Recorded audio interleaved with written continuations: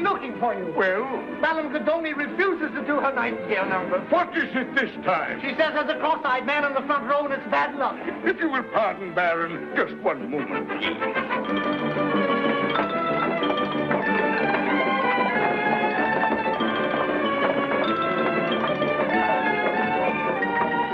Oh, Baron Cassini.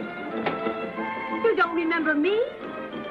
Should I? Well, don't you remember? Last winter at the Casanova. At the Casanova? What about last winter at the Casanova? Mimi! You get out of here! You pig! I can't trust you out of my sight. With all the men there are in the world, why, why did I have to pick you to fall in love with? I hate you. You understand? I hate you! But Don't you ever dare let me catch you talking to another woman. Merciful heaven, how dare you attack the Baron? A thousand pardons, Baron. no, it's perfectly all right. You?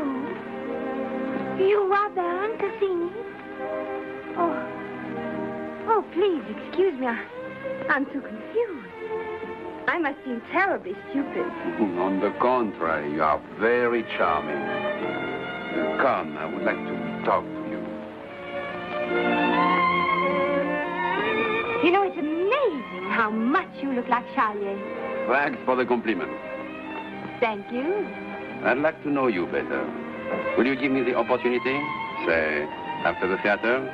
I'm sorry, I already have an engagement. Perhaps I can persuade you to break it. I never break engagements. Except for good reasons. Oh, am I not a good reason? Oh, yes. But I can't. Truly, I can't. Tomorrow night. I'm sorry, tomorrow night I have an engagement, too. With the same man? Yes. Oh, you must like him very much. Oh, I do.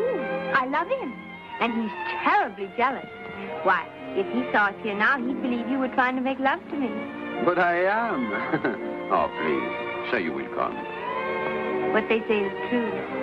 You are dangerous. It's hard to refuse you, but I must. Wait. You're a woman and you may change your mind. If you do, you can always reach me at this address.